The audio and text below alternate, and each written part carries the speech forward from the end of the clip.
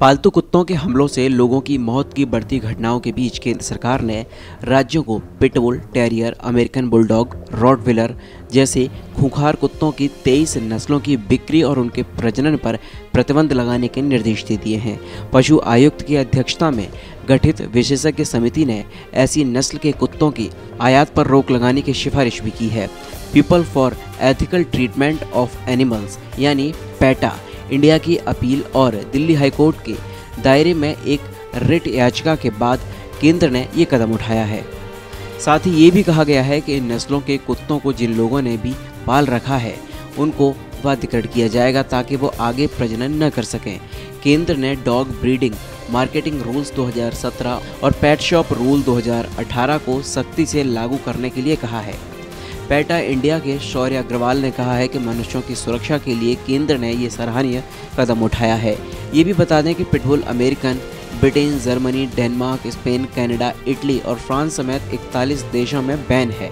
इसके अलावा अन्य ऐसी नस्लें हैं जो दूसरे देशों में बैन हो चुकी हैं। इन्हें रिहायशी इलाकों में रखना वर्जित किया गया है। पिटबुल जब एक बार किसी को अपने शिकंजे में ले लेता है तो उसके जबड़े इतने ताकतवर होते हैं कि वो इस तरह से लॉक हो जाते हैं कि उसे छुड़ा पाना आम लोगों के बस की बात नहीं होती है। अमेरिका में कुत्तों के काटने से हुई मौतों में पिटबुल का योगदान छियासठ फ़ीसदी है। अमेरिका में 2005 से 2019 में 15 सालों के दौरान कुत्ते के काटने से होने वाली मौतों में पिटबुल का योगदान 66 यानी छियासठ फ़ीसदी रहा है। अगर आंकड़े की बात करें तो 346 ऐसे मामले रहे हैं जिनमें पिटबुल के काटने से सामने वाले व्यक्ति की मौत हो गई। संयुक्त रूस में पिटबुल और रॉटविलर के कुत्तों के काटने से हुई मौतों के हिस्से में छिहत्तर फ़ीसदी रहा है। बीते दिनों दिल्ली और लखनऊ से भी ऐसी खबरें आई थी जहाँ खूंखार पालतू कुत्तों ने अपने मालिक या फिर किसी अन्य व्यक्ति पर हमला कर दिया था, जिसकी वजह से उनकी जान तक चली गई थी। अगर ऐसी ही घटनाओं की बात करें तो करीब एक महीने पहले दिल्ली में एक पिटबुल के द्वारा काटे जाने के बाद एक बच्ची गंभीर रूप से घायल हो गई थी। उसका पैर तीन जगह से टूटा था। उसे सत्रह दिन तक अस्पताल में रहना पड़ा। इससे कुछ दिन पहले एक व्यक्ति ने राजधानी में अपने पड़ोसी पर हमला करने के लिए अपने पिटबुल को उकसाया था, जिसके बाद उस कुत्ते ने आदमी को काट लिया था।